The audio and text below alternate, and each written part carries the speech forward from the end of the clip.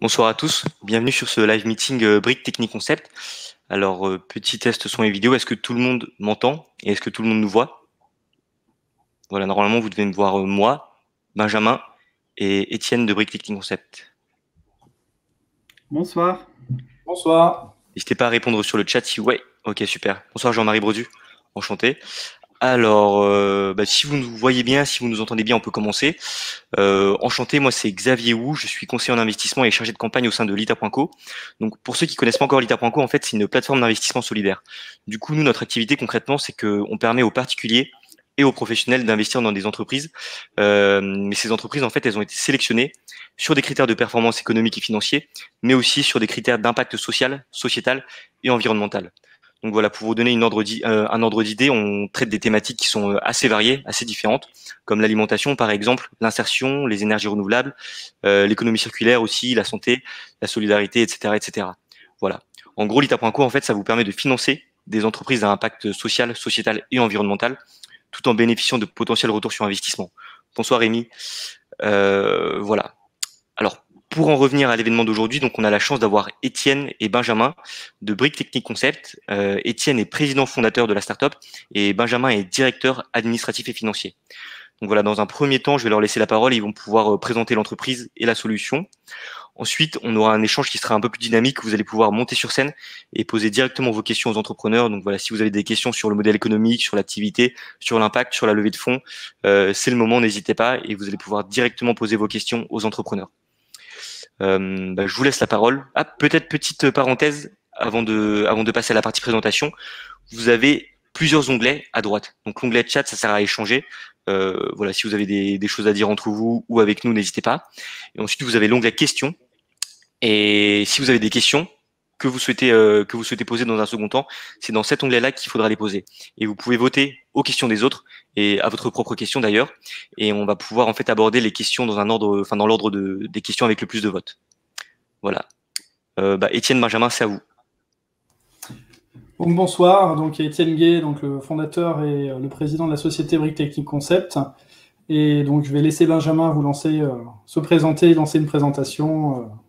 On va s'échanger la parole. On s'est déjà, euh, euh, Xavier nous a déjà introduit. Je vais en fait lancer un peu notre pitch parce que on l'a, on l'a bien, euh, on l'a bien fait déjà. Euh, il est, il est, il est bien pensé et comme ça on peut vous expliquer un peu notre projet euh, et l'entreprise et en fait aussi euh, le projet dans lequel vous pouvez investir à travers de, de l'ITA. Donc, je vais partager mon écran, comme ça, euh, je, euh, comme ça vous pouvez euh, voir. Je vais faire comme ça, c'est le plus facile. Et on va directement dans la présentation. J'espère que ça fonctionne. Est-ce que vous voyez tous mon écran? Il doit y avoir écrit Brick Technique Concept. J'imagine que ça fonctionne. Et donc, voilà, on se, euh, on, commence. Donc, on est, euh, nous, on est euh, une société. Oui? On ne voit pas encore l'écran. D'accord. Qu'est-ce que, qu'est-ce qu'on voit? C'est moi, je suis de retour. Alors normalement, Benjamin, tu as une petite flèche en bas de l'écran, une flèche qui monte vers le haut, avec un bouton partager, et là, tu peux cliquer dessus et partager ton écran. Ah, oui, oui.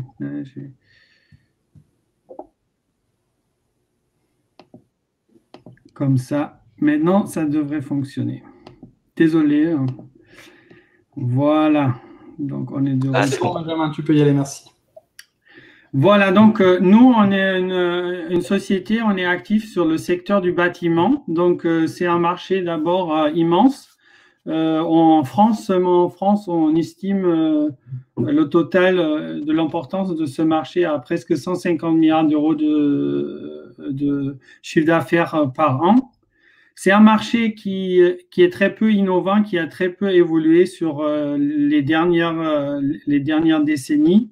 On voit ici les courbes de l'évolution de la productivité des différentes industries et la construction, c'est la ligne rouge en bas. On voit très bien que en termes de productivité, donc en termes de façon, de, manière de faire, ça n'a pas vraiment changé depuis l'année 1995, alors que l'industrie en eau, euh, ça c'est la ligne euh, jaune ou beige, elle a progressé beaucoup. C'est un marché aussi qui est, qui est polluant, qui est très néfaste pour l'environnement, avec plusieurs, plusieurs impacts importants. D'abord, l'impact des ressources et des déchets. Donc, euh, euh, c'est une activité humaine qui est énormément consommatrice euh, de ressources, avec les sables, les, les, les pierres, donc tout ce qui est extrait de la terre, mais qui est aussi un grand producteur de déchets, le premier même en volume en France. Après, c'est aussi une activité qui, qui émet énormément de CO2 et qui contribue donc euh, évidemment euh, fortement au réchauffement climatique. Donc ici, euh, ce point-là, on va un peu aller un peu, on peut aller plus en détail. les émissions de CO2 de l'activité de la construction, c'est en total à peu près presque 30% de, l'impact CO2 en France. Là-dedans, il y, a, il y a une grande partie, donc si on parle aujourd'hui de, la construction neuve qui n'est pas vraiment les 27%, mais qui, en fait partie, euh, dans la construction neuve, l'impact le plus significatif euh, en termes d'impact CO2, c'est les superstructures et maçonnerie. Euh, donc sur cette partie-là, il y a une grande, une action à mener. Cette action à mener, elle est, euh, elle est, elle est, elle est entamée par le gouvernement à travers d'une réglementation nouvelle, la RE 2020, qui, euh, euh, qui a comme ambition de réduire de 40% l'impact CO2 de la construction neuve des matériaux qui sont utilisés. Et nous, notre solution, et c'est là où elle est très vertueuse, elle apporte une solution à ce problème-là, parce que nous, on a développé une solution en terre crue, des murs porteurs en terre crue, qui euh, est beaucoup moins polluant que les autres solutions existantes sur cette partie superstructure et maçonnerie, euh, euh, qui est la partie la plus lourde dans le bâtiment. Étienne, je te laisse un peu sur les. Euh, donc le, matériau aujourd'hui est, très demandé à la fois pour ses performances multiples, donc c'est un très bon isolant euh, phonique hein, dans, le, bâtiment, c'est un correctif thermique, ça permet d'être un petit peu meilleur qu'un enfin, matériau minéral, mais c'est pas un isolant proprement dit. Euh, c'est un excellent régulateur hygrométrique, donc en gros tout ce qui est vapeur d'eau qu'on va libérer en respirant, en cuisinant ou en se lavant, la terre est capable de l'absorber et de le restituer après calmement pour améliorer le confort dans le bâtiment. Bien évidemment, c'est résistant au feu, ça ne brûle pas. Et ensuite, le matériau, il est euh, très demandé aujourd'hui pour son confort d'été, qui est intrinsèquement lié à la régulation hygrométrique, mais également pour son potentiel architectural. Euh, la terre on va dire, peut être source de beaucoup d'expressions euh, en bâtiment de manière simple ou de manière plus traditionnelle. Voilà, on vous a un peu dit euh, tout ce qui est bon, euh, la terre crue, tout ce que peut apporter la terre crue euh, dans, cette activité de la construction. Maintenant, on va essayer de répondre à la question pourquoi BTC Alors, pourquoi notre société est-elle à la pente dans, ce domaine-là? Étienne donc aujourd'hui, on a une équipe qui est pluridisciplinaire. Donc là, vous avez face à vous, on va dire, les, quatre associés actifs dans l'entreprise, euh, qui se, enfin qui travaillent quotidiennement. Donc euh, Iman, mon épouse, qui gère le laboratoire et qui est docteur en chimie. Benjamin, donc vous avez vu, qui a plus à présenter, et Philippe, qui est plutôt en charge de la partie R&D, certification, donc tout ce qui va toucher le côté levé réglementaire et des, de, des échanges pluridisciplinaires avec, avec Iman au niveau du laboratoire sur le matériau. Donc euh, l'équipe aujourd'hui c'est 12 personnes, c'est pas uniquement nous, c'est euh, également euh, on va dire au bureau d'études une personne clé Brice et côté gestion de la production et opérationnel Claire. Hein. Voilà, donc on est une équipe jeune mais dynamique avec des parcours différents qui nous donnent une vision très complémentaire. L'activité a démarré en 2012, donc en auto-entreprise. Euh, j'ai démarré et lancé l'activité matériaux euh, seul. Puis petit à petit, euh, bah, j'ai acquis de l'expérience autour du matériau et j'ai commencé à être reconnu comme expert. avec de l'activité conseil, donc tant sur l'usage du matériau, mais également il s'est très vite fait sentir le besoin de, de fabriquer un outil de production à la pointe. Et donc là, c'est ma casquette de dessinateur industriel qui a repris le, le, dessus. Et donc, euh, on a fabriqué notre propre prototype en 2015 et euh, l'activité équipement est née de, de ce besoin euh, de fabriquer des machines plus performantes, industrielles. Et donc aujourd'hui, on intervient comme, équipementier, surtout dans le cadre de notre développement, mais voilà, on, est en phase de, de mettre en route trois, trois types d'équipements différents.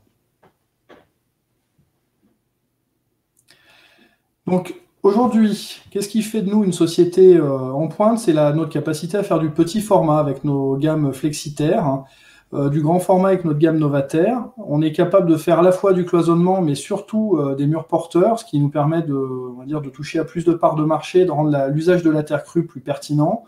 C'est également notre capacité à faire des productions industrielles. Donc, je vous parlais des équipements juste avant. On est vraiment sur de, la, haute technologie euh, qui est un peu un contraste avec le matériau en lui-même, mais qui nous permet d'obtenir de, bonnes performances. Euh, la préfabrication, on l'imagine de manière, euh, de manière absolument poussée, à savoir quand on fait des éléments préfabriqués, d'être capable de répondre à la demande en coupant directement les matériaux pour qu'arriver sur chantier, l'opérationnel n'est plus qu'à faire la mise en œuvre. Aujourd'hui, notre solution, c'est la plus économique des matériaux bas carbone.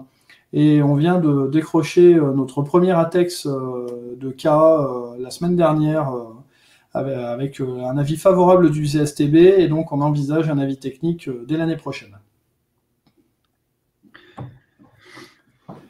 Donc nos équipements, euh, je vous en parlais, donc là on a la gamme Flexitaire, euh, vous voyez à gauche avec le, bras robotisé, on a la gamme Novataire au centre, donc qui sont les éléments euh, préfabriqués. Et aujourd'hui, bah, nos, nos, équipements ont une capacité de production respective de 7000 et 11000 tonnes, qui en font des unités de production industrielles capables déjà de faire un grand nombre de logements par an avec un payback attractif. Hein, clairement, on est sur des sites avec un bon retour sur investissement rapide. Ça va nous permettre d'essaimer, euh, telle une ruche, euh, on va dire, le, savoir et le développement de la terre crue pour un plus grand nombre. Côté donc levée euh, réglementaire, hein, je vous parlais d'ATEX, donc on a, on va dire, on a un petit peu écrit l'histoire, donc avec un premier ATEX de KA, de KB, pardon, il y a il y a euh, quatre ans maintenant. Alors un ATEX, c'est une appréciation technique expérimentale hein, qui est, euh, qui est une appréciation donnée par le CSTB. Donc le CSTB, c'est le Centre scientifique technique du bâtiment. C'est tout simplement l'autorité qui permet d'autoriser l'usage d'un matériau en bâtiment en étant, euh, couvert avec une assurance. Donc cette levée réglementaire est nécessaire pour l'accès au marché et en, en, passant, on va dire, par ces différentes étapes, en faisant des essais dans des laboratoires certifiés comme chez Effectis pour le feu, des essais en résistance de matériaux, de murs hein, et cisaillement. Ça nous a permis de démontrer les qualités intrinsèques du matériau et son usage en bâtiment, et également, on va dire, via le, cet ATEX qui a été déposé, c'est ni plus ni moins qu'un un document d'un peu plus de 200 pages, qui permet de décrire comment on utilise le matériau dans le bâtiment. L'idée étant, avec l'avis technique, donc l'ATEC, on va aller chercher l'année prochaine, de décrire une nouvelle histoire, euh, on va dire, de, l'usage de la terre crue en France et euh, participer à la future normalisation du matériau à horizon 4 à 5 ans. Donc nous aussi, on est, euh, on est sur avec avec un modèle, un concept, on va dire commercial pour servir les, les, petits artisans et les bricoleurs euh, c'est un concept qui, euh, qui est plus dans le circuit court et euh, dans, dans l'idée de servir tous les clients qui sont proches d'un site de production à nous. On commence avec Toulouse parce que pour le moment, on a un site de production qui n'est pas loin de Toulouse à Groyer.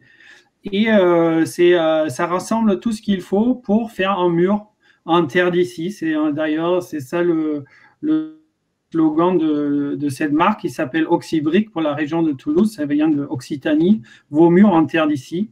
Après, c'est duplicable et même c'est notre idée de le dupliquer ou multiplier à travers d'autres sites de production en France, que c'est notre, euh, notre projet aussi, c'est de multiplier le nombre de sites de production. On a sur, euh, sur cette proposition-là. On a, on a les matériaux, on a la logistique et on a un support à la pause qui consiste dans des tutoriels pour ceux qui veulent faire eux-mêmes et aussi un réseau d'artisans pour ceux qui veulent euh, se laisser aider. Euh, L'idée, euh, c'est de lancer ça pour la fin de l'année sur Toulouse ou peut-être le début de l'année prochaine. On est en train de bien vérifier qu'est-ce que c'est plus pertinent.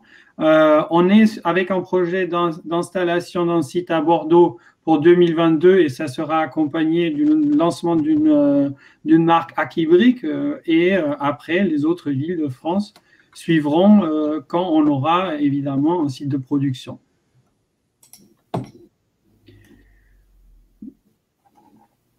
Voilà, donc pour, pour vous raconter un peu l'histoire plus récente de la société, on a pas mal de d'indicateurs qui nous prouvent euh, que notre solution, euh, il y a une véritable demande de l'autre côté.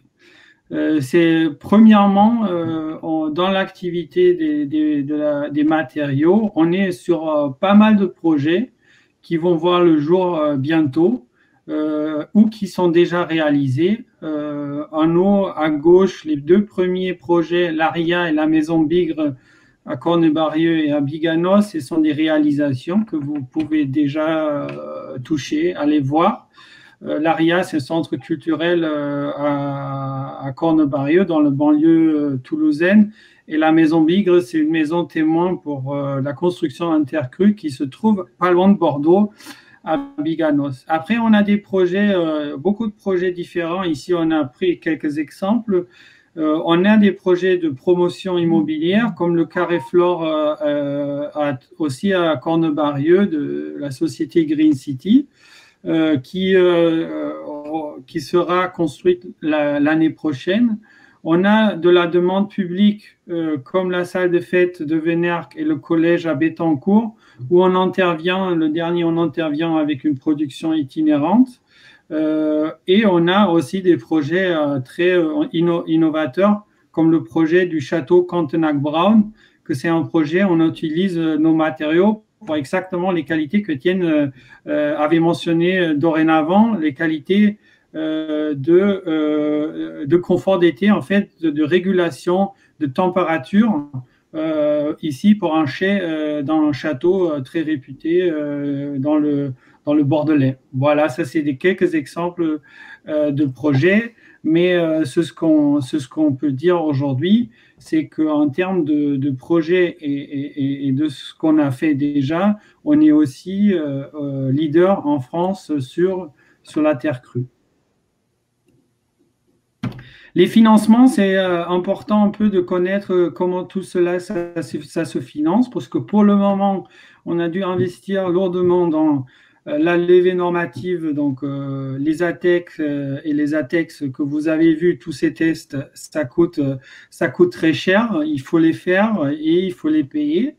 donc ça, c'est une, grande une, une, partie importante de nos dépenses. Après, on a une dépense évidemment aussi importante avec les prototypes des machines et toute la technologie là-dedans. Donc, c'est la, la deuxième euh, la deuxième ligne de dépenses et la troisième ligne de dépenses et évidemment la structuration de la société. Tout cela, on peu près, euh, on a euh, pour arriver au bout, on a à peu près besoin de 2,5 millions d'euros pour pouvoir pour pouvoir livrer, commencer à livrer tous ces chantiers que vous avez vus sur la page précédente.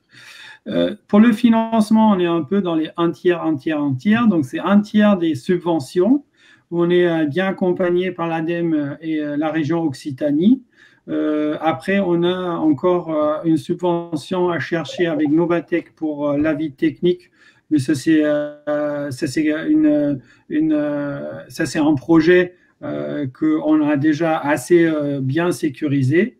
Après, on a cherché dans les 800 000 euros des capitaux propres ça, c'est déjà réalisé avec plusieurs, euh, plusieurs investisseurs. La plus grande partie de cet investissement a été apporté par euh, un promoteur immobilier toulousain qui veut prendre le virage et vraiment changer ses habitudes et qui est vraiment très convaincu de notre solution et qui nous accompagne donc en tant qu'associé minoritaire.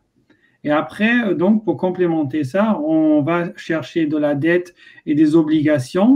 Et euh, sur cette partie-là, une partie est réalisée, une partie est en instruction. Donc, euh, cette partie de l'ITA, où on a décidé euh, d'aller vers du crowdfunding en, en obligation, on l'a fait euh, déjà avec plaisir parce que c'est euh, un très bon moyen, je trouve, aussi euh, de trouver, euh, de, créer du réseau autour de, de, la solution et de, gagner en visibilité.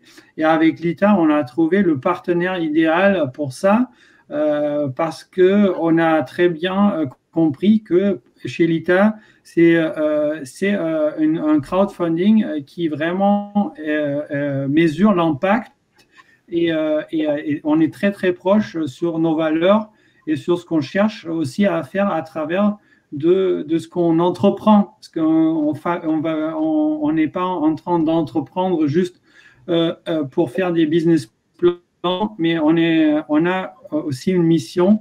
Et cette mission-là, c'est euh, d'apporter euh, à cette, euh, à, aux changements qui, qui, qui, sont nécessaires euh, dans l'activité de la construction une belle solution que c'est la solution de la terre crue. Donc aujourd'hui, pourquoi investir BTC et investir à nos côtés? Euh, C'est une technologie éprouvée.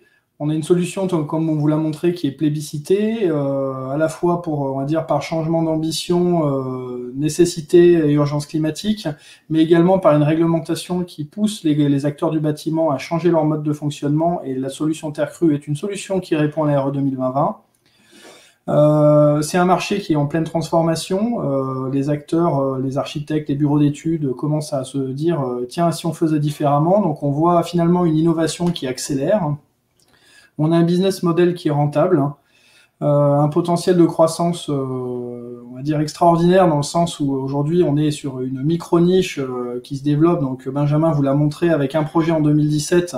On arrive sur cinq projets cette année et une vingtaine à peu près d'ici fin d'année prochaine. On a un BP avec donc des risques maîtrisés. Vous l'avez vu, on est une équipe agile de par nos expériences professionnelles passées. Et euh, clairement, bah, c'est une action pour contribuer à l'avenir de la planète et à celle de nos enfants. Voilà, donc euh, merci à vous euh, pour votre écoute et au plaisir de vous avoir ici ce soir. Merci Benjamin, merci Étienne. Alors du coup, avant de passer à la partie questions-réponses, euh, je vais vous donner les raisons pour investir qui ont été identifiées par l'ITA. Bon, ça va être un peu redondant parce que du coup, on est euh, très d'accord avec Brick Technique Concept, puisque du coup, euh, les quatre raisons qu'on a qu'on a identifiées sont assez similaires à ce qui vient d'être dit.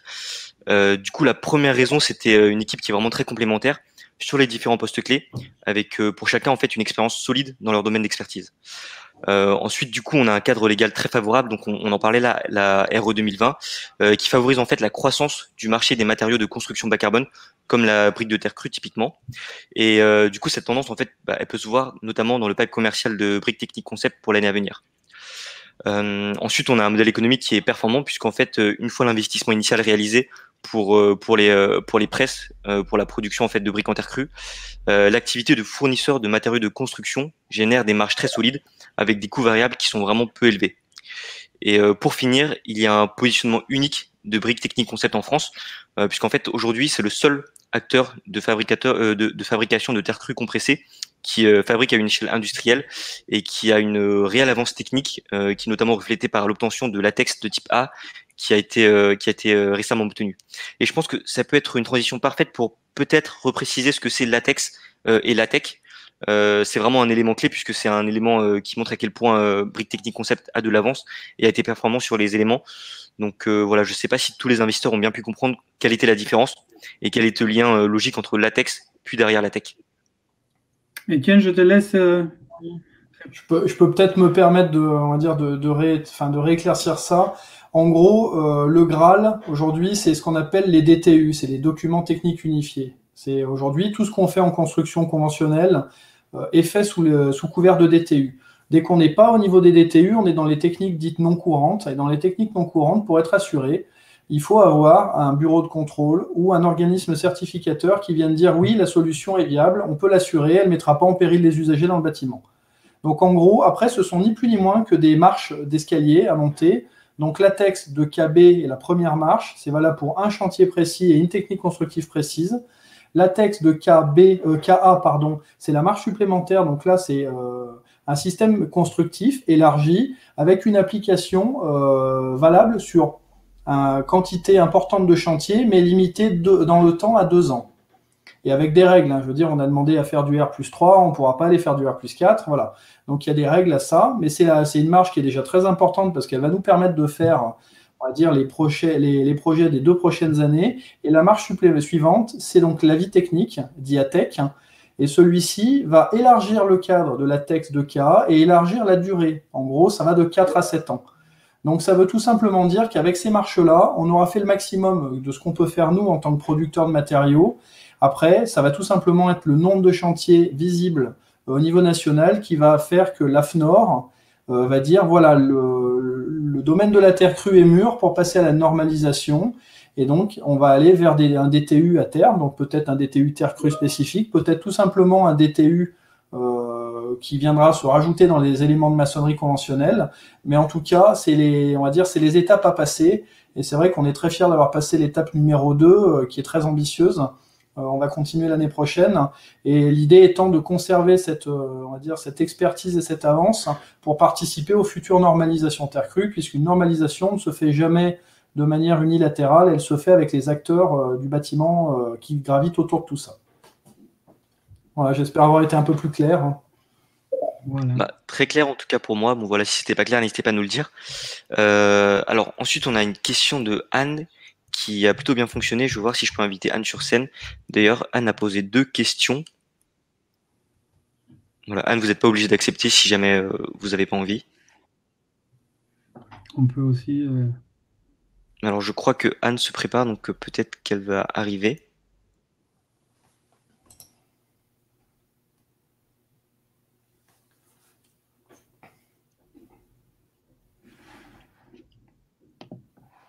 Ah, je crois que ça n'a pas fonctionné.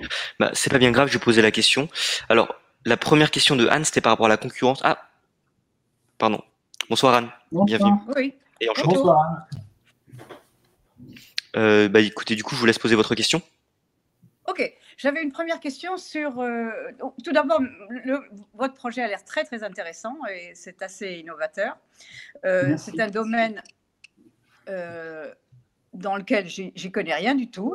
Mais justement, j'apprends pas mal de choses avec, avec votre présentation. Euh, j'avais une question sur euh, euh, oui, la concurrence. Qu'est-ce qui, quels sont à, l'échelle locale, dans le, dans le Toulousain, ou bien à l'échelle nationale, quels sont vos, vos concurrents? Est-ce qu'il y a d'autres sociétés qui sont en train de développer ce genre de produits et la deuxième question, c'était, je me souvenais dans peut-être dans une présentation euh, euh, préliminaire, vous parliez de comment d'utiliser de la terre recyclée. Est-ce que c'est encore euh, un projet? Voilà, mes deux questions. D'accord. Pour les concurrents, je vais vite répondre. Après, sur la terre crue recyclée, Étienne, il peut apporter une réponse. En fait, la concurrence, ça dépend beaucoup de ce que de ce qu'on met sur euh, dans le dans le panier. Nous, ce qu'on fait, on conçoit des murs porteurs en terre crue qui vont concurrencer des toutes sortes de murs porteurs qui peuvent être en béton, euh, en terre cuite, euh, etc. Donc toute autre sorte de fabriquer des murs. On est concurrent de ces solutions là. Euh, après, aujourd'hui, euh, on n'est pas vraiment, parce que c'est un marché énorme de masse dans lequel euh, nous, on n'est pas, voilà, on n'a pas la même, on n'a pas la même, la, les, la même, les mêmes volumes.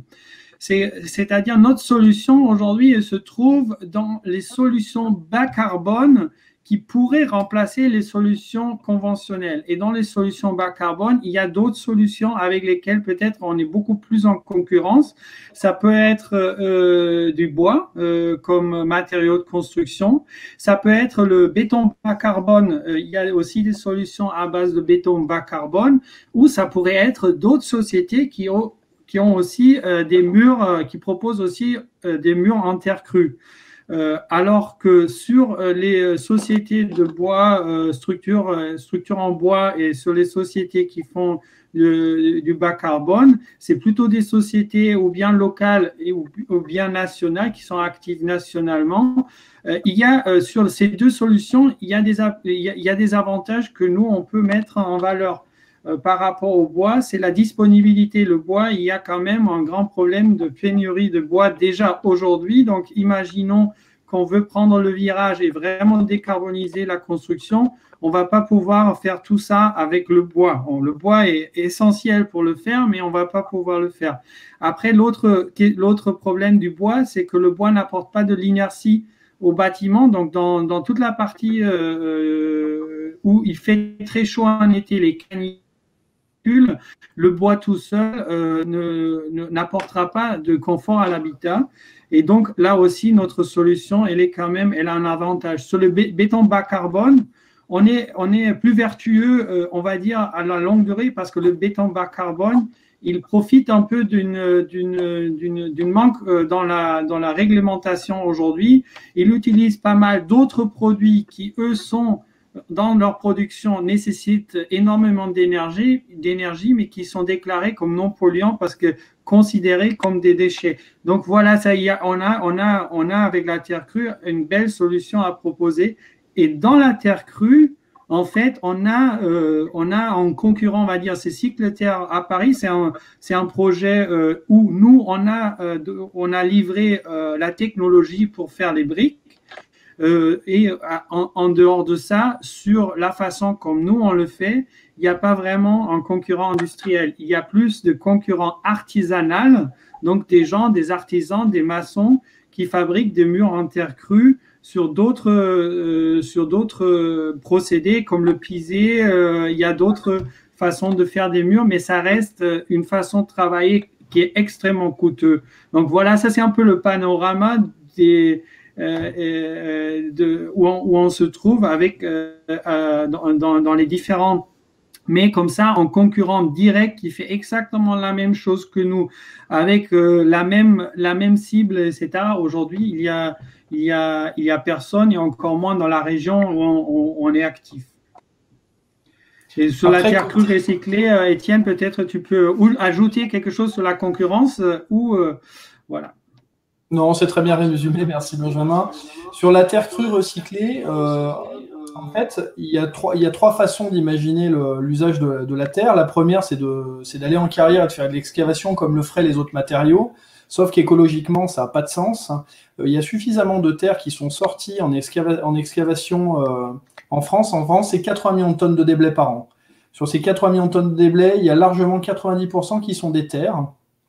Et sur ces terres, bah, ça laisse de quoi, euh, de quoi faire. tout simplement, on les intercepte avant qu'elles partent en décharge. On en fait un matériau de construction qu'on réinjecte tout de suite dans le bâtiment. Donc on peut être extrêmement vertueux sur un circuit très court.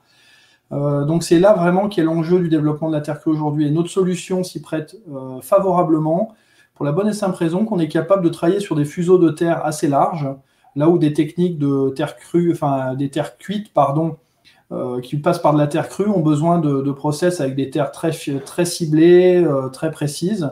Nous, on peut vraiment travailler d'un extrême à l'autre du fuseau avec des terres plus argileuses ou des terres presque sableuses.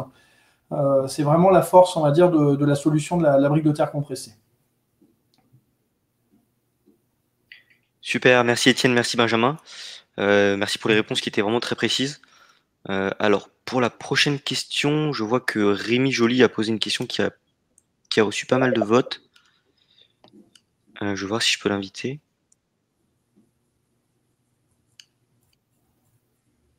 Alors, je crois que ça n'a pas fonctionné. Bon, je vais poser directement la question. Euh, Rémi demande ce que va financer la levée de fonds sur l'ITA. Est-ce que ça va être le nouveau site à Bordeaux?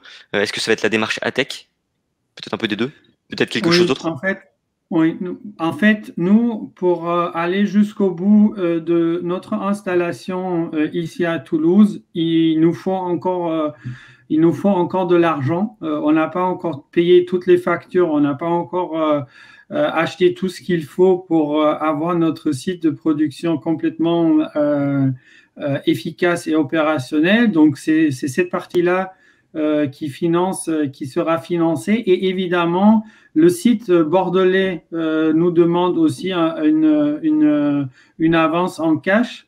Après, c'est euh, c'est un peu plus tard. Là, là pour cette année, l'ITA nous servira d'aller jusqu'au bout de notre projet du site industriel pour des briques et des blocs en terre crue compressés. Et aussi, ça participera à, euh, au, paiement de, de, de, support de communication parce que, ce que ça manque beaucoup aujourd'hui. Et euh, d'ailleurs, aujourd'hui, on a eu encore une fois une longue discussion sur cela. Il faut, là, maintenant qu'on a les ATEX, qu'on a des choses à montrer, il faut commencer aussi à travailler sur une façon professionnelle de transporter ça vers les architectes, vers les gens qui qui travaillent dans la construction, les bureaux d'études, etc. Et ça aussi, c'est une dépense euh, qu'on financera avec, euh, avec l'argent qu'on a levé euh, avec l'ITA. Et pour répondre un petit peu plus à la question, l'ouverture du site de Bordeaux se fera plutôt, on va dire, avec du prêt très court terme, le temps de vendre un équipement va dire, sur le site de Bordeaux. Et la démarche à tech, on est plutôt sur une démarche, comme ça a été montré dans, la slide, sur un financement, on va dire, euh, de subvention, d'accompagnement par Nobatech INF 4. Donc euh, finalement, le reste à charge euh, pour, le, Technique Concept sera, sera très modéré et, et donc l'ITA n'y participe pas à cette échelle. Super. Euh, bah, du coup, merci Rémi, merci Étienne et merci Benjamin. Alors, pour les prochaines questions, on a deux questions de Émilie qui euh, n'est plus connectée, donc je vais poser les questions pour elle. Alors, la première question, c'est comment convaincre des constructeurs habitués au ciment, au béton, euh, de passer à la brique de terre crue compressée? Et... et la deuxième question, c'est est-ce qu'on a suffisamment de recul sur cette brique de terre crue en termes de solidité et de fiabilité? Bon, je réponds à la première partie de ces questions pertinentes. Euh, en fait, euh, c'est vrai que c'est compliqué, hein, euh, que c'est pas, mais il y a quand même, il y a quand même, je dirais, c'est pas vraiment nous qui convaincrons des constructeurs à changer leur mode de construire. C'est d'un côté, on a la réglementation qui impose une réduction du bilan carbone dans la construction.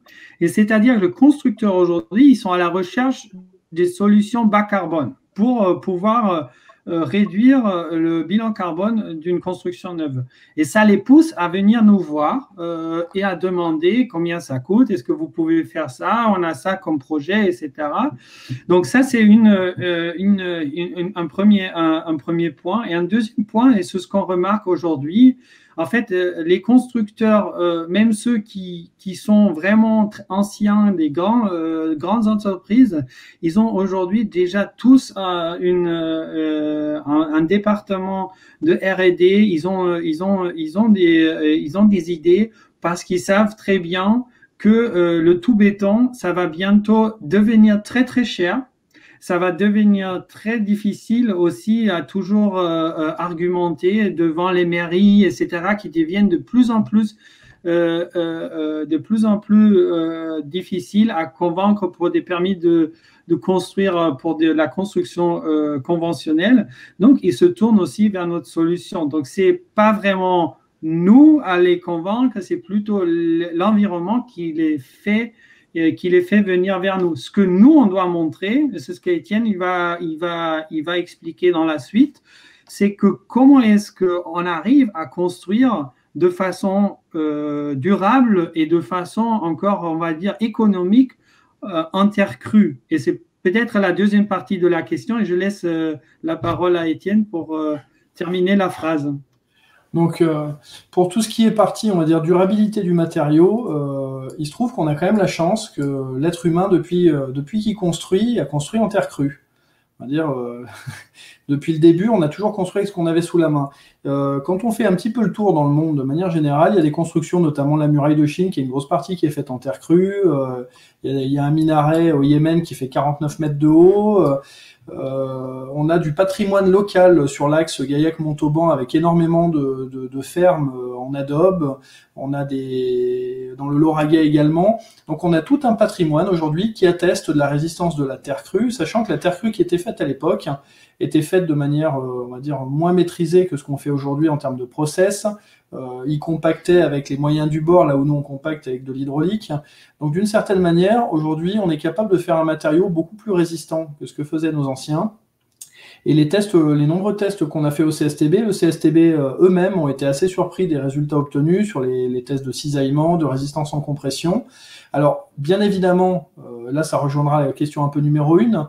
on a pris l'habitude dans le bâtiment de, de sur gros de, rendre surcostaud l'intégralité des structures avec des, ciments qui ont des résistances avec lesquels on fait des ouvrages d'art, des, grandes hauteurs. Mais pour tout ce qui est de la construction, on va dire, euh, commune qu'on voit aujourd'hui, à savoir du plein pied, de la maison, individuelle avec un, un R plus 1 ou de la résidence du petit collectif, jusqu'à R plus 3, R plus 4, sont des secteurs dans lesquels la terre crue pourra répondre. Alors quand je dis pourra, elle peut déjà répondre jusqu'à R plus 3. On ambitionne le R plus 5 avec, euh, avec euh, cet avis technique. Euh, le matériau peut largement répondre en termes de, solidité à tous ces, on va dire, de la construction courante. Il n'y a pas de souci, il faut juste respecter les quelques règles de construction, à savoir lui pas lui mettre les pieds dans l'eau et lui mettre un chapeau correct sur la tête. Voilà, ça fait sourire souvent, mais dans la profession, c'est de bonne botte avant chapeau. Super, merci Étienne, merci Benjamin pour la réponse. Euh, alors on va passer à la prochaine question qui a été posée par Martin. Euh, J'en profitais pour faire une petite anecdote puisqu'on a parlé de la Grande Muraille de Chine. Euh, J'ai appris ça récemment et ça m'a et époustouflé. Le mortier de la Grande Muraille de Chine a été fait en partie à partir de riz. Voilà, je trouvais ça formidable et je voulais le partager avec vous ce soir.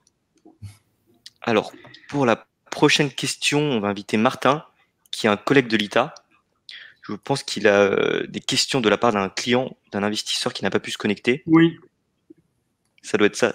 Salut Martin. Bonsoir. Ah, je crois que, tu as le micro coupé. Oui, il a le micro coupé, Martin. Là, est-ce que vous m'entendez euh, mieux peut-être? Ouais, c'est bon, on t'entend. Bonsoir, Martin. Bonsoir à tous. Merci Benjamin, merci Étienne pour votre présentation qui était, euh, qui était très claire, qui a sûrement déjà répondu à beaucoup de questions. Euh, donc moi, je me fais l'intermédiaire en effet d'un client en tant que relation investisseur chez, chez Lita, qui avait deux questions. Euh, j'ai peur de pas faire de, de, de, de, faire de doublons, mais je pense que ça n'a pas encore été euh, évoqué. La, la première d'entre elles euh, concerne la valorisation de, l'activité. Bah, tout simplement, comment est-ce que vous avez réussi à, valoriser cette activité qui est, qui est aussi inédite, en tout cas sur, sur le marché français, et quelle comparaison, en fait, si vous en avez fait, est bonne à faire quand on sait que la concurrence directe, en tout cas, n'est pas vraiment, n'est pas vraiment établie sur ce marché? Très bonne question, très très bonne question. En fait, euh, la valorisation, elle a été, euh, elle a été établie à partir euh, de différents business plans de la façon la plus, on va dire, de dire qu'est-ce que qu'est-ce que nous on voit comme potentiel de croissance. Après, il faut y croire, c'est vrai, parce que c'est assez inédit. Mais de l'autre côté, il y a d'autres sociétés qui se qui ont fait aussi des euh, des approches qui sont venues à peu près avec le même argument, peut-être pas avec la même approche, mais avec le même argument, la décarbonisation de l'activité de construction. Et on peut euh, voir que ces sociétés-là, ils se font valoriser quand même généralement avec des valorisations assez élevées, parce que c'est vraiment une question qui brûle sous les ongles, comme on dit. Et il y a, premièrement, il y a Hoffman Green Cement qui, euh, pour presque 0 euh, euros de chiffre d'affaires. Elle a fait une levée de fonds très, très euh, spectaculaire. Évidemment, ils sont, ils, ont, ils sont restés sur le même mode Donc, c'est beaucoup plus facile pour eux de transformer à partir de là euh, le marché. Mais ils sont aussi sur une solution extrêmement coûteuse, etc. Donc, il y a tout un pour et un contre à chaque fois. Il y a aussi la société Materop, une autre société qui a, fait une, levée de fonds récent et qui a levé à elle tout seul 3 euh, millions d'euros, c'est aussi des bétons d'argile. Euh, leur argument principal, c'est aussi la décarbonisation, euh, sans pour autant avoir les autres, les autres avantages que nous, on peut offrir avec, avec notre produit. Et sur cette base-là, on est, on est allé chercher des fonds d'investissement, d'abord des institutionnels sur, sur la région toulousaine. Et en fait, on a trouvé l'appui d'un fonds d'investissement pour, pour cette valorisation. Et après, au, bout, au bout du chemin, on a eu la chance euh, d'avoir euh, pu aussi euh, intéresser des, investisseurs plus stratégiques qui ont à la fin, qui ont, qui ont, qui, voilà, qui ont aussi, qui étaient d'accord aussi avec cette valorisation. Donc voilà, ça c'est un peu la suite. Donc ça vient pas complètement du vide. Donc on a un peu de comparaison avec d'autres, avec d'autres dossiers. Mais c'est vrai que c'est très, c'est très compliqué de dire après ce qui il faut aussi euh, dire que le moment pour ce matériau, il est venu. Ça, euh, il y a beaucoup de gens qui sont des experts dans la construction euh, et qui ont des longues carrières dans les matériaux de construction. moi aussi, j'ai travaillé depuis 99. Je suis dans les dans, dans, dans ce domaine-là et on voit très bien qu'il y a vraiment quelque chose à faire avec ce matériau qui est la terre crue et on, on, on croit vraiment que nous, on a une belle avance sur d'autres sur, euh, sur d'autres concurrents euh, pour, euh, pour vraiment industrialiser et démocratiser ce matériau. Voilà, ça c'est un peu la réponse sur cette première question. Et la deuxième question, est-ce que sans ATEC, on ne peut plus rembourser les obligations? C'est un peu ça la, question, si je comprends bien. Oui, oui, c'est vraiment sur les prévisions, en effet. Oui. Euh, en fait, euh, il est vrai que pour nous, la levée normative, elle est vraiment cruciale euh, pour, pour notre business plan. Mais on a prouvé dans le passé qu'on arrive à lever les freins. on a passé toutes les étapes, même vraiment à la date près. Donc, on, a, on est appuyé par vraiment des, des bureaux de contrôle et euh, des bureaux d'études euh, qui ont tout pour euh, aussi pour rassurer sur cet aspect-là qu'on arrivera à obtenir ces avis techniques et nécessaires à, à, la plus grande utilisation de nos matériaux. Il faut dire que c'est c'est pas un miraculeux, c'est pas une loterie d'avoir un avis technique. Il faut juste faire des tests il faut prouver dans des tests que ça fonctionne. Et d'ailleurs, le matériau, il est, il est ancestral. on, peut très bien, ça, on, sait, on sait ce que peut le matériau. On n'a juste pas encore, on, l'a juste pas encore prouvé en test. Donc, euh, je dirais oui, c'est nécessaire la levée normative pour notre business plan. Et, mais on, peut, on, peut, on peut assurer sur notre capacité d'aller au bout de cette levée normative. Et je, je rajouterais donc, ça conditionne pas le remboursement des obligations, bien évidemment. Euh, pourquoi? Donc, comme dit le Benjamin, on est très confiant sur, euh, sur l'obtention de cette ATEC. Le planning prévisionnel de cette obtention, c'est un dépôt euh, milieu d'année prochaine avec plus ou moins six mois de, de décalage potentiel. Tout dépendra en fait un petit peu de l'ambition de ce qu'on rajoute dans la tech et des essais qu'il va falloir faire, parce que quand on fait des essais, il faut fabriquer le matériau, il faut aller le maçonner euh, en laboratoire, faire les essais. Donc euh, une, une, campagne complète d'essais peut facilement glisser de six mois. Donc ça ne, ça ne viendra pas, euh, on va dire, empêcher le remboursement des obligations, ni notre développement, puisque de toute manière, la tech, le latex de, de KA peut être prolongé un an s'il le faut sur demande, voire on pourrait en redéposer un autre, plus ambitieux, plus gros. Euh, voilà, donc on a quand même un certain nombre de possibilités, sachant que ce que je disais tout à l'heure euh, sur les marches de l'escalier, il faut savoir qu'il y a une marche zéro. Cette marche zéro, c'est euh, l'expérimentation et la validation par bureau de contrôle directement sur chantier. Donc la plupart du temps, il y a toujours des demandes très très particulières sur chaque chantier, la, petite chose, la petite fantaisie, qui ne rentre pas dans le caractère normatif qu'on aura levé. Donc pour, pour ça, il y a toujours le bureau de contrôle qui va dire bah, sur la base de tel essai euh, ou telle modélisation par le calcul, on est capable de valider, de mettre un coup de tampon aussi. Donc euh, il faut savoir que les projets qu'on a fait par le passé, on a réussi à faire des choses sans pour autant être couvert par un ATEX. Voilà, donc on n'est on pas coincé dans notre développement. C'est sûr que l'ATEX sera encore un boost d'accélération, bien évidemment. Très merci, messieurs. Je vous remercie beaucoup et bonne soirée à vous. Merci à vous aussi. Bonne soirée, Martin.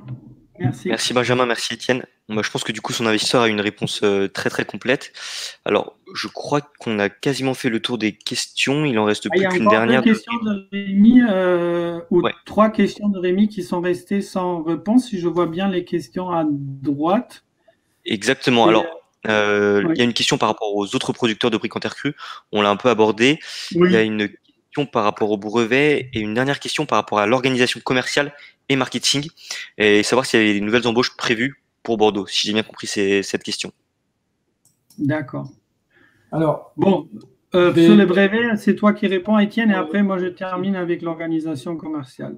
Donc, pour, pour, le brevet, on en a un qui est en, qui est en cours de rédaction, euh, qui, en fait, euh, qui va permettre de couvrir une partie de nos équipements, mais ça fait pas tout.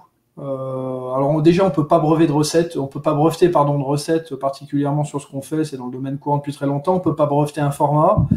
Euh, les technologies de compactage, euh, excepté quelques bricoles, euh, le reste, il n'y a rien d'extraordinaire. Il y a des, certains brevets qui ont été déposés il y a plus de 100 ans. Donc on, on va breveter le maximum de ce qu'on peut faire, mais le gros de notre protection réside dans le, on va dire plutôt dans le process et donc sur la manière de protéger nos équipements euh, en termes en termes d'automates, en termes de on va dire de, location d'automates sur les machines qui pourraient être vendues. Donc au final, on a on va dire une double casquette et on mise également et surtout sur le sur conserver notre avance. Euh, là, on vient de finir, euh, on va dire le, les premières machines flexitaires. On sait d'ores et déjà quels sont les points d'amélioration pour les suivantes et donc, finalement, de rester en perpétuelle innovation, de manière modérée bien sûr, euh, va nous permettre, euh, on va dire, de pouvoir dans l'absolu euh, se passer de brevets à l'avenir. c'est pas ce qui nous permettra d'avancer, de, se protéger plus que ça.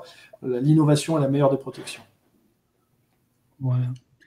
Donc, Rémi, aussi la question sur l'organisation commerciale et marketing. Euh, c'est aussi une question euh, évidente. Nous, on, pense euh, avancer pendant l'année prochaine avec une embauche pour faire de la prescription plus technique. Donc, c'est une vente très technique qui va donner un support à tous ceux qui veulent concevoir des bâtiments en terre crue et qui les aident euh, en fait euh, de, de, les concevoir de la meilleure façon, d'une façon qu'à la fin ça coûte le moins cher possible, etc. Cette fonction-là, on va la dupliquer euh, sur Bordeaux, donc il y aura à un moment donné le même poste à Bordeaux. Après la vitesse, ça dépend un peu aussi euh, de, de l'arrivée euh, de nos projets et, et, de la livraison de nos, nos, premiers projets. De façon générale, l'organisation commerciale, pour nous aujourd'hui, il y a beaucoup de communication à faire, donc c'est très important notre marketing et le support marketing.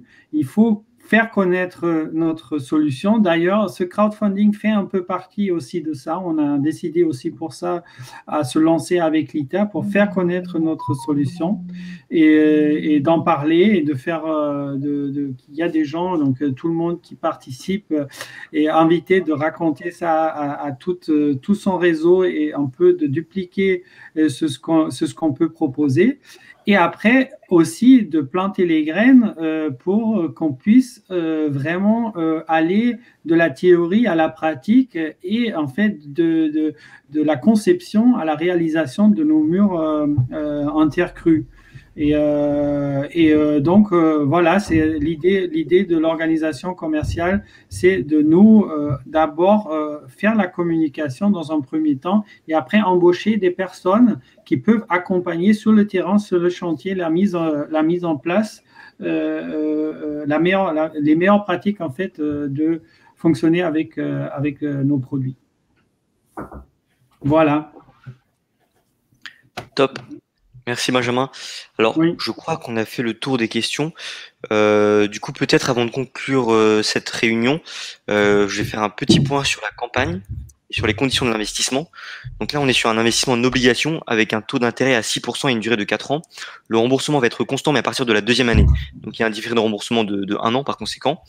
Euh, et cet investissement en obligation est accompagné d'une prime d'impact de 1% qui va être euh, indexée sur l'atteinte d'objectifs d'impact. Donc voilà, si euh, ce taux d'intérêt supplémentaire est payé, ça pourrait faire un taux global à 7% par an. Euh, pour vous donner un ordre d'idée, pour 1000 euros investis, vous pourrez percevoir 180 euros d'intérêt brut hors prime d'impact. Euh, sinon, par rapport à la campagne, on a aujourd'hui reçu 330 000 euros d'intention d'investissement, sachant qu'on avait un objectif de 300 000 euros et une capacité de collecte maximum de 400 000 euros. Donc voilà, c'est une campagne qui, qui, a très bien fonctionné aujourd'hui. Euh, elle devrait pas tarder à passer en collecte. En fait, pour tout vous dire, il ne manque plus qu'à conclure le dossier d'investissement. Donc pour ceux qui connaissent l'ITA, en fait, euh, plutôt pour ceux qui connaissent pas l'ITA, en fait, c'est un document qui fait euh, une vingtaine de pages, qui va vraiment présenter en fait la levée de fonds et l'entreprise dans sa globalité. Donc vous allez avoir des informations sur euh, le modèle économique de l'entreprise, son activité, son offre, le marché sur lequel elle évolue, les concurrents, une analyse financière et ensuite une analyse sur l'impact de l'entreprise et pour finir une partie sur la levée de fonds. Voilà, dès qu'on aura conclu ce document, on pourra passer en collecte, à savoir que du coup, ça devrait être un passage en collecte euh, demain ou en tout cas cette semaine. Voilà. Alors, pour information, Oui, je voulais, je voulais juste rajouter un, dernier petit point que je voulais partager avec, euh, avec vous tous ce soir. Euh, hier, on a été, on a été lauréat des trophées des Septuors dans la catégorie prix spécial de la région. Donc, on a reçu un, un trophée pour notre, on va dire, notre engagement, notre innovation. Et, euh, voilà, donc euh, on partagera ça sur les réseaux sociaux demain. Mais euh, donc voilà, je tenais à vous le partager. ça a été un, grand moment de, joie pour, toute l'équipe hier soir parce que ça vient dire reconnaître l'engagement et l'investissement de, toute l'équipe. Voilà, merci. Bah, félicitations à Brick Technique Concept. Je pense que c'est une nouvelle parfaite pour clôturer cet échange. juste pour information, pour ceux qui sont arrivés en cours de route, L'ensemble de la réunion a été enregistré, donc vous allez pouvoir retrouver ça sur notre chaîne YouTube. Euh, un lien va vous être envoyé pour euh, pour euh, visionner en fait le replay. Voilà. Merci à tous, merci Benjamin, merci Étienne, et à très bientôt. Merci beaucoup, à bientôt. au revoir. Merci.